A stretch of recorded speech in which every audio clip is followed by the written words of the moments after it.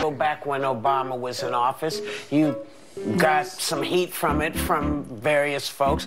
When you look and see what's happening, what, what goes through your mind? You know, I despise a dictatorship. I despise authoritarianism. And I do not want the people of Cuba to suffer under that repressive regime.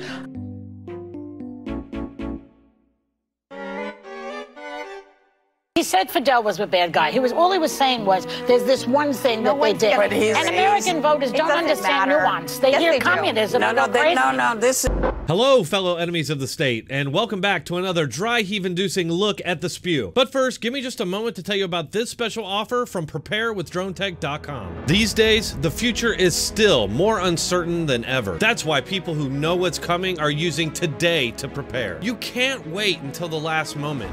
By then, it's too late. The most important thing you need is long term storage emergency food. It stays fresh for up to 25 years and will be there when you need it. I strongly recommend My Patriot Supply, America's leader in self reliance. They're the only source my family uses for emergency food planning. And right now, you can save $50 off a four week supply of delicious meals that provide 2,000 plus calories a day. Calories give you the energy you need to survive. And saving $50 is impossible to pass up, but supplies are limited. So go to www.preparewithdronetek.com right now and stock up. That's preparewithdronetek.com. There's no time to lose, do it now. So what we have here is Joyless Behar unsurprisingly accusing her political opposition of what she's actively playing a part in. We've been hearing this talking point from the Democrats and their state media that it's the party out of power, the Republicans, that are attacking democracy. It's a drumbeat that defies reality. First off, Joy Behar herself is an avowed supporter of socialism, communist dictatorships, and the politicians who support these same things, such as Bernie Sanders and Karen Bass, who was once considered for VP. go back when Obama was in office, you got some heat from it from various folks. When you look and see what's happening, what, what goes through your mind? You know, I despise a dictatorship. I despise authoritarianism. And I do not want the people of Cuba to suffer under that repressive regime. He said Fidel was a bad guy. He was all he was saying was there's this one thing No that they one's gonna- did. One good thing, he said. I don't think. Well, by the way, that, that literacy program that he was talking about mm-hmm. was a re-education program. Yes, it was. There's a big difference. There you go. The White House also announced that they are reversing the Obama administration's steps to normalize relations with Cuba. Oh. because of their human rights violations. Because the U.S. is in no condition to lecture us about human rights, given the racial discrimination happening in America now. I have to say the word socialist is now becoming a buzzword like liberal and feminist, where the right wing is now taking that word and distorting it. It's being weaponized. bastardized, that word. They Yes, hear they communism No, and no, go they, crazy. no, no. This is Right, right, Behar. Just like when people hear fascism, they go crazy. When they hear authoritarianism, they go crazy. People tend to get active when they see failed murderous ideologies creeping into their free country, which is exactly why you hear from a lot of immigrants who are fleeing socialist and communist countries warning Americans and voting for Republicans. Then there was another time that she attacked Trump for criticizing socialism and complained that the word had been, quote, distorted by those mean, nasty Republicans. Which reminds me of the time when CNN's Alisyn Camerota bizarrely suggested that Democrats come up with a new, deceitful name for socialism in order to mislead Americans so that they would support it. That's what the president should be talking about. They're socialists. Do you think that Democrats are making a mistake tactically, because you're a strategist, of allowing themselves to be branded as socialists, not coming up with some sort of new name? So this is very reminiscent of a lot of this pro-communist dictatorship propaganda that's been coming out of the DNC media telling us how great everything is in Cuba. Just a quick history lesson here. This slow burn effort to acclimate Americans to the idea of communism started at least decades ago. Barbara Walters used to brag about her Christmas cards from Fidel Castro. She didn't stop there though, even calling Cuba, quote, one of the freest countries on earth. Castro, freedom starts with education.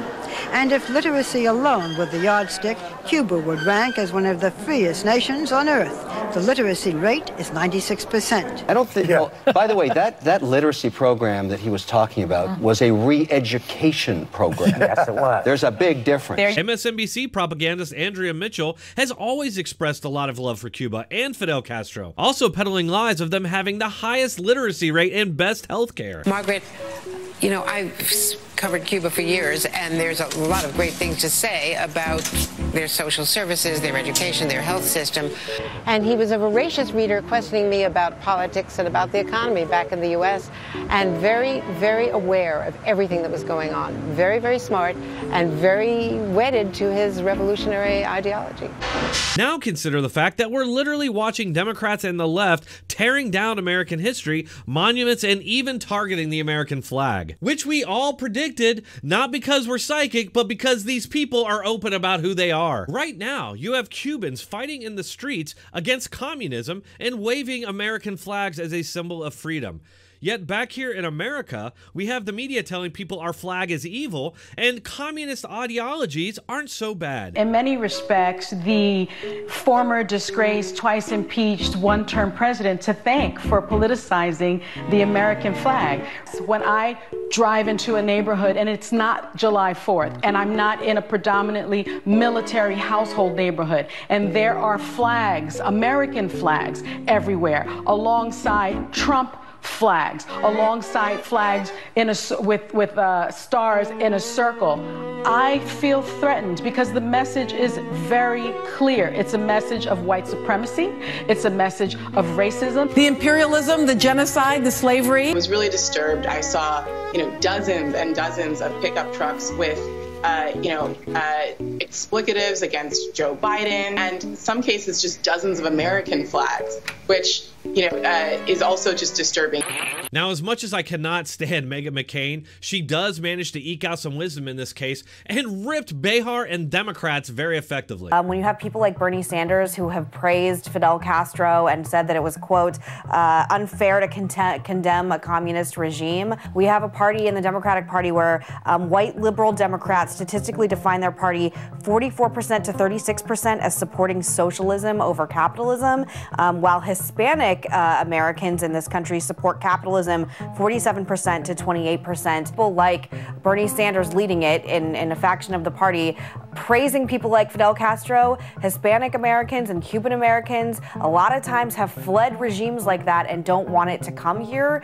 Even a kernel of talking about socialism or communism in any way in a positive uh, place in the United States of America is, is not only dangerous, but it's just asininely stupid. And um, I think we're seeing in real time uh, the the ramifications of that. If there is any actual threat of authoritarianism in this country, right now, that lays with the Democrat Party and their provenly violent communist mobs. Right now, these people can't even bring themselves to acknowledge that the people of Cuba are rising up against communism. All right, folks, that's all I have for this one. As always, thanks for watching. If you enjoyed it, please hit that like button and let me know what you think in the comment section.